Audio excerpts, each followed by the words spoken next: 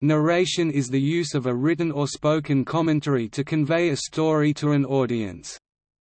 Narration encompasses a set of techniques through which the creator of the story presents their story, including narrative point of view, the perspective or type of personal or non-personal lens through which a story is communicated narrative voice, the format through which a story is communicated narrative time, the grammatical placement of the story's time frame in the past, the present, or the future. A narrator is a personal character or a non-personal voice that the creator author of the story develops to deliver information to the audience, particularly about the plot.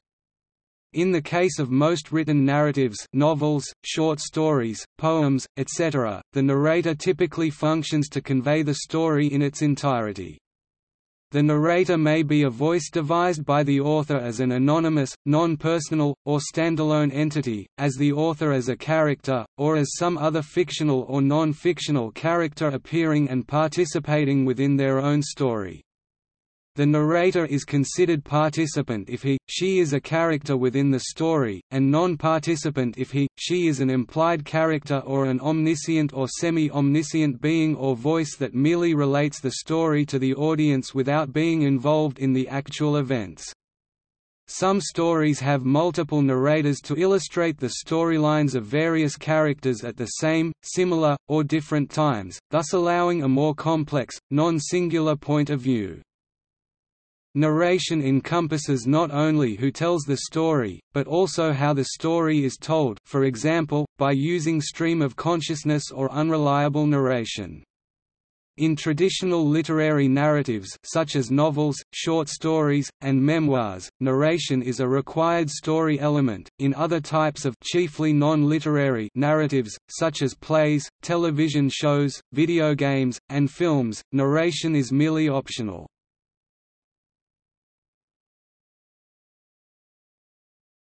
Topic: Narrative point of view. Narrative point of view or narrative perspective describes the position of the narrator, that is, the character of the storyteller, in relation to the story being told. It can be thought of as a camera mounted on the narrator's shoulder that can also look back inside the narrator's mind.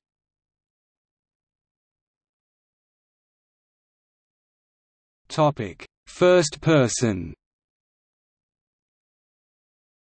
With the first-person point of view, a story is revealed through a narrator who is also explicitly a character within his or her own story. In a first-person narrative, the narrator can create a close relationship between the reader and the writer.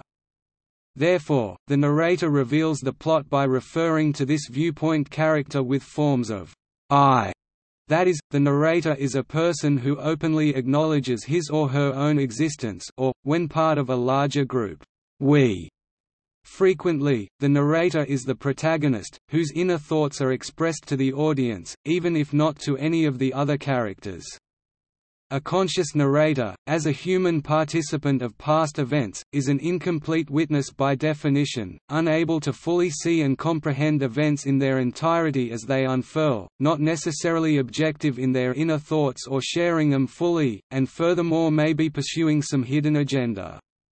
Forms include temporary first-person narration as a story within a story, wherein a narrator or character observing the telling of a story by another is reproduced in full, temporarily and without interruption shifting narration to the speaker.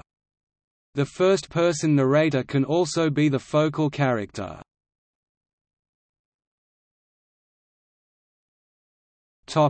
Second person The second-person point of view is a point of view where the audience is made a character. This is done with the use of the pronouns you, your, and yours. The narrator is trying to address the audience, not necessarily directly, but rather to administer more of a connection. Stories and novels in second person are comparatively rare. Examples include the short fiction of Lorrie Moore and Junot Díaz. An example in contemporary literature is Jay McInerney's Bright Lights, Big City, in which the second-person narrator is observing his life from a distance as a way to cope with a trauma he keeps hidden from readers for most of the book. You are not the kind of guy who would be at a place like this at this time of the morning.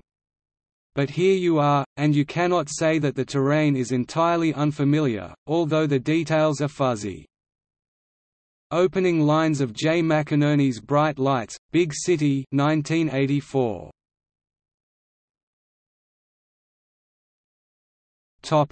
Third person.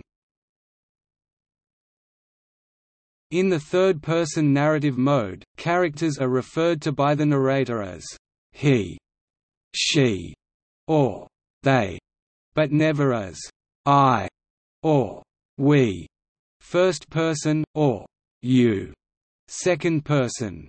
This makes it clear that the narrator is an unspecified entity or uninvolved person who conveys the story and is not a character of any kind within the story, or at least is not referred to as such. Traditionally, third person narration is the most commonly used narrative mode in literature. It does not require that the narrator's existence be explained or developed as a particular character, as with a first person narrator. It thus allows a story to be told without detailing any information about the teller narrator of the story. Instead, a third-person narrator is often simply some disembodied commentary or voice, rather than a fully developed character. Sometimes, third-person narration is called the he, she perspective. The third-person modes are usually categorized along two axes. The first is the subjectivity-objectivity axis, with third-person subjective narration describing one or more characters' personal feelings and thoughts, and third-person objective narration not describing the feelings or thoughts of any characters but, rather, just the exact facts of the story. The second axis is the omniscient, limited axis, a distinction that refers to the knowledge held by the narrator. A third-person omniscient narrator has, or seems to have, access to knowledge of all characters, places, and events of the story, including any given character's thoughts. However, a third-person limited narrator, in contrast, knows information about, and within the minds of, only a limited number of characters often just one character. A limited narrator cannot describe anything outside of a focal character's particular knowledge and experiences. Topic alternating person While the tendency for novels or other narrative works is to adopt a single point of view throughout the entire novel, some authors have experimented with other points of view that, for example, alternate between different narrators who are all first-person, or alternate between a first and a third-person narrative perspective. The Ten Books of the Pendragon Adventure series, by D. J. MacHale, switch back and forth between a first-person perspective handwritten journal entries of the main character along his journey as well as a disembodied third-person perspective focused of his friends back home.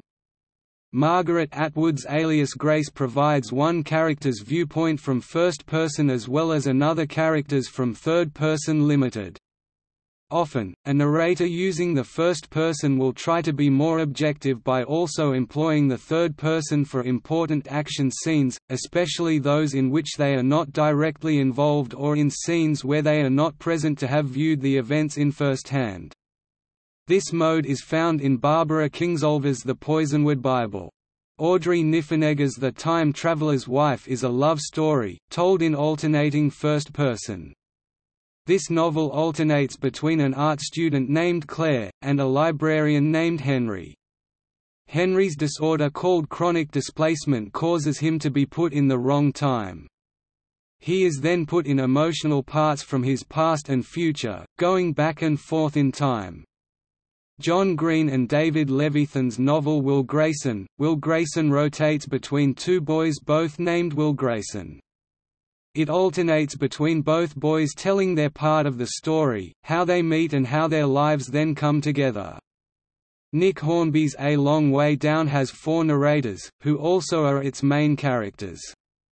These four characters meet at the top of a tall building known as the suicide spot and begin to talk instead of jumping. They then form a group, and continue to meet up.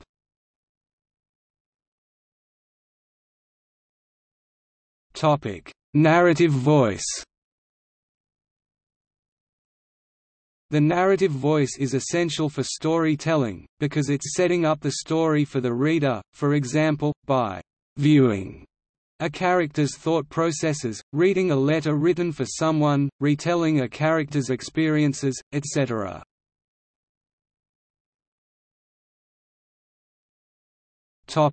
Stream of consciousness voice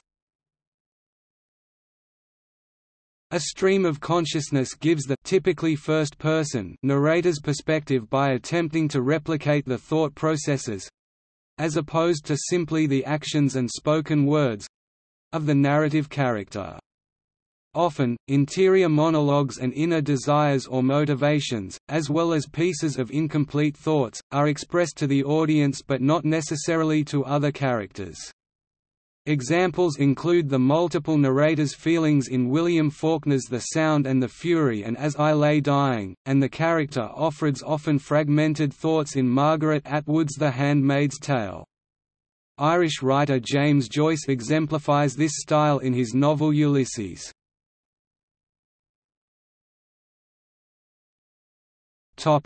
Character voice One of the most common narrative voices, used especially with first and third person viewpoints, is the character voice, in which a conscious person in most cases, a living human being is presented as the narrator. This character is called a viewpoint character.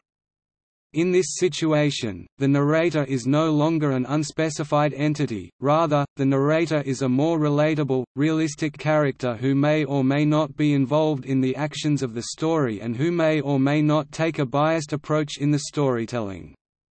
If the character is directly involved in the plot, this narrator is also called the viewpoint character. The viewpoint character is not necessarily the focal character. Examples of supporting viewpoint characters include Dr. Watson, Scout in To Kill a Mockingbird, and Nick Carraway of The Great Gatsby.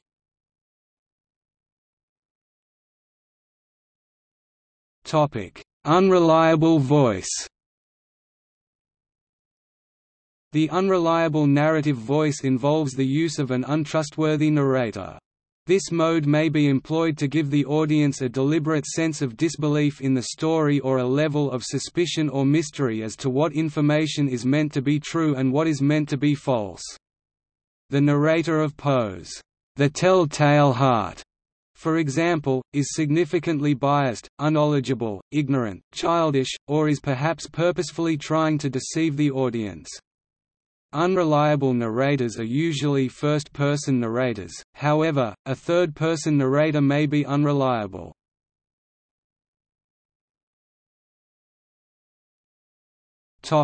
Epistolary voice The epistolary narrative voice uses a usually fictional series of letters and other documents to convey the plot of the story. Although epistolary works can be considered multiple-person narratives, they also can be classified separately, as they arguably have no narrator at all—just an author who has gathered the documents together in one place. One example is Mary Shelley's Frankenstein, which is a story written in a sequence of letters. Another is Bram Stoker's Dracula, which tells the story in a series of diary entries, letters and newspaper clippings. Les liaisons dangereuses Dangerous Liaisons, by Pierre Choderlos de Laclos, is again made up of the correspondence between the main characters, most notably the Marquise de Merteuil and the Vicomte de Valmont. Langston Hughes does the same thing in a shorter form in his story, Passing, which consists of a young man's letter to his mother. Topic Third-person voices The third-person narrative voices are narrative voice techniques employed solely under the category of the third-person view.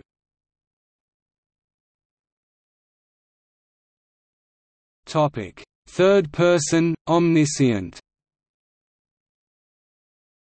Historically, the third-person omniscient or simply omniscient perspective has been the most commonly used in narrative writing. It is seen in countless classic novels, including works by Charles Dickens, Leo Tolstoy, and George Eliot.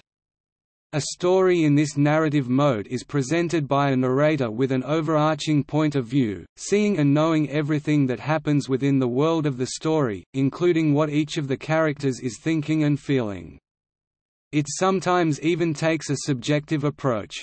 One advantage of omniscience is that this mode enhances the sense of objective reliability that is, truthfulness of the plot.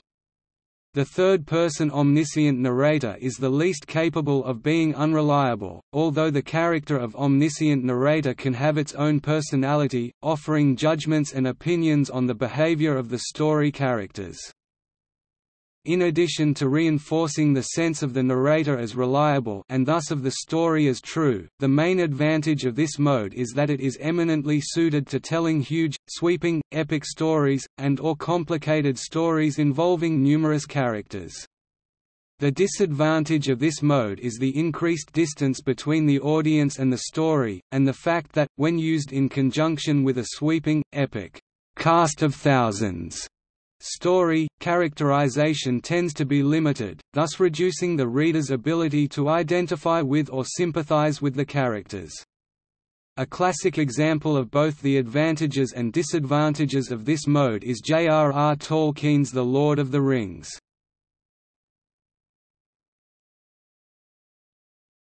Third person, subjective the third-person subjective is when the narrator conveys the thoughts, feelings, and opinions of one or more characters. If there is just one character, it can be termed third-person limited, in which the reader is «limited» to the thoughts of some particular character often the protagonist as in the first-person mode, except still giving personal descriptions using «he», «she», «it», and «they» but not I.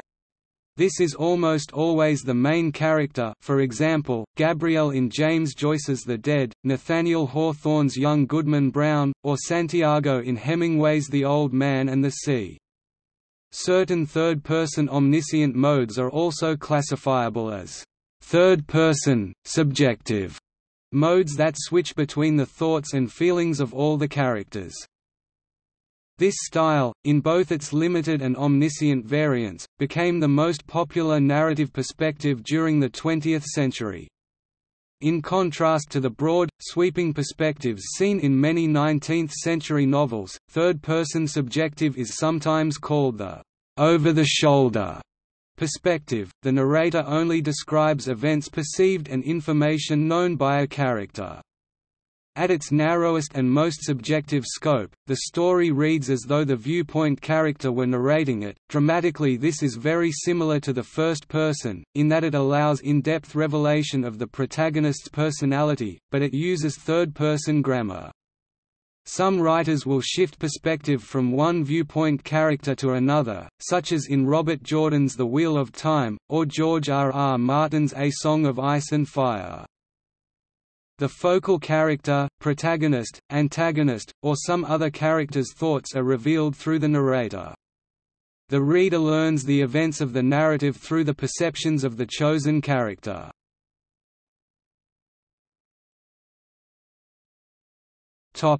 Third person, objective the third-person objective employs a narrator who tells a story without describing any character's thoughts, opinions, or feelings, instead, it gives an objective, unbiased point of view. Often the narrator is self-dehumanized in order to make the narrative more neutral. This type of narrative mode, outside of fiction, is often employed by newspaper articles, biographical documents, and scientific journals. This narrative mode can be described as a «fly on the wall» or «camera lens» approach that can only record the observable actions but does not interpret these actions or relay what thoughts are going through the minds of the characters. Works of fiction that use this style emphasize characters acting out their feelings observably. Internal thoughts, if expressed, are given voice through an aside or soliloquy. While this approach does not allow the author to reveal the unexpressed thoughts and feelings of the characters, it does allow the author to reveal information that not all or any of the characters may be aware of.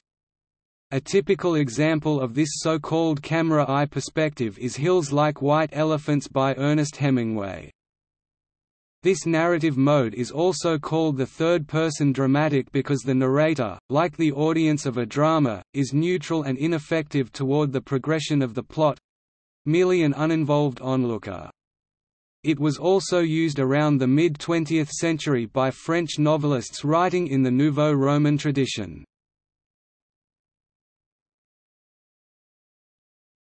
Third person, free, indirect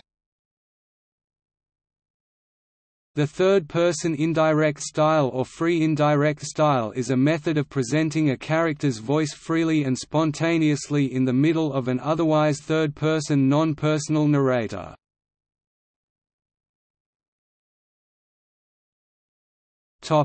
Third-person, alternating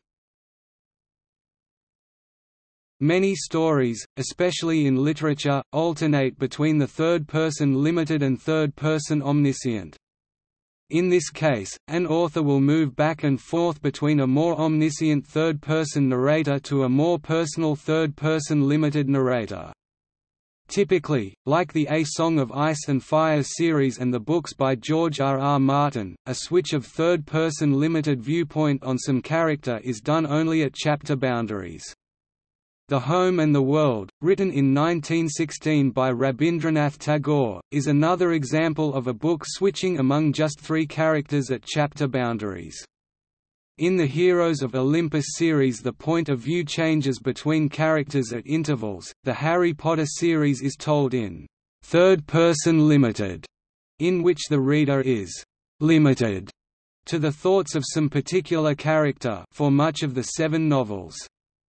However, it deviates to omniscient on occasions, particularly during the opening chapters of later novels in the series, which switch from the limited view of the eponymous Harry to other characters for example, the Muggle Prime Minister in The Half-Blood Prince.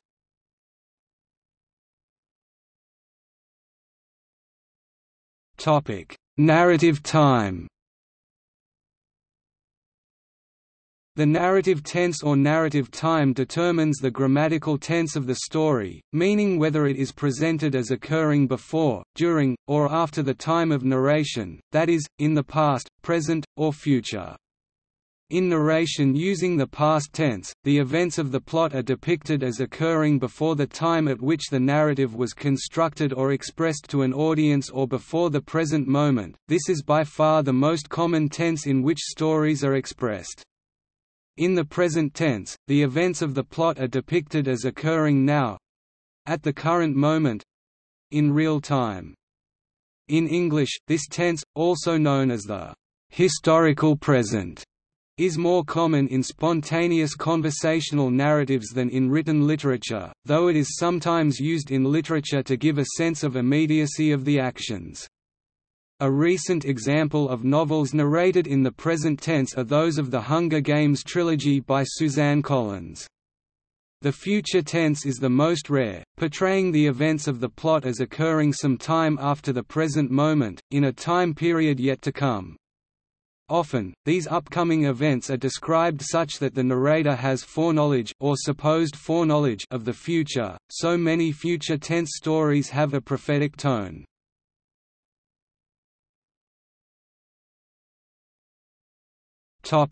Other narrative modes.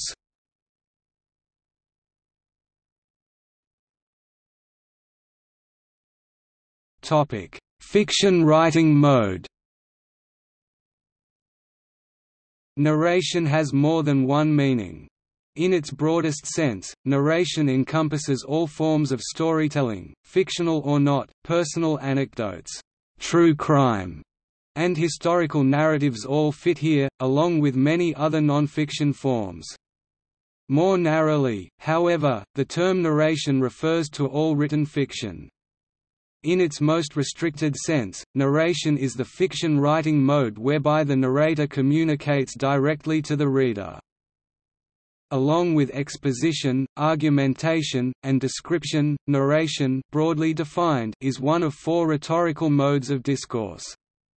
In the context of rhetorical modes, the purpose of narration is to tell a story or to narrate an event or series of events. Narrative may exist in a variety of forms, biographies, anecdotes, short stories, or novels. In this context, all written fiction may be viewed as narration. Narrowly defined, narration is the fiction writing mode whereby the narrator is communicating directly to the reader but if the broad definition of narration includes all written fiction, and the narrow definition is limited merely to that which is directly communicated to the reader, then what comprises the rest of written fiction? The remainder of written fiction would be in the form of any of the other fiction writing modes. Narration, as a fiction writing mode, is a matter for discussion among fiction writers and writing coaches.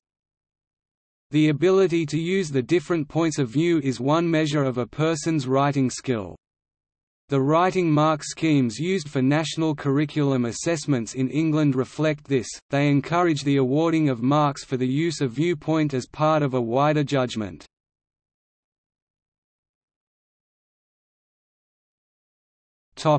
Other types and uses In literature, person is used to describe the viewpoint from which the narrative is presented. Although second-person perspectives are occasionally used, the most commonly encountered are first and third person. Third-person omniscient specifies a viewpoint in which readers are provided with information not available to characters within the story. Without this qualifier, readers may or may not have such information.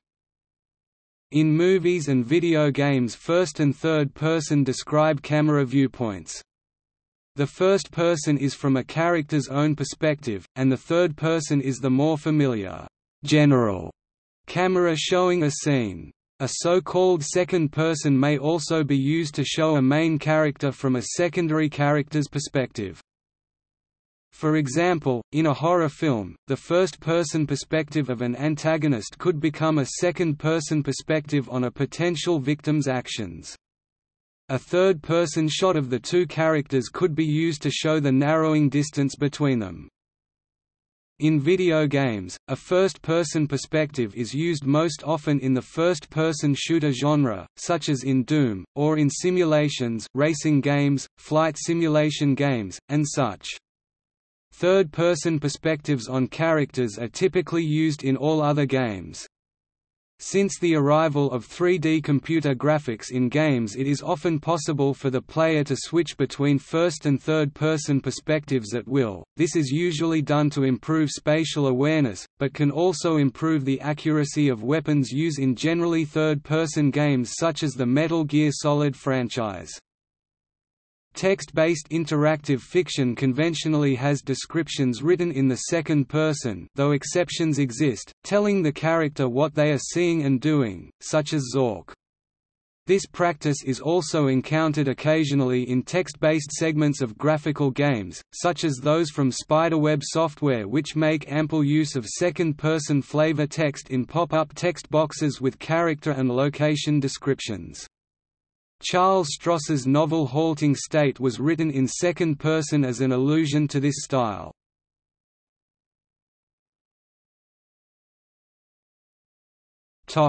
See also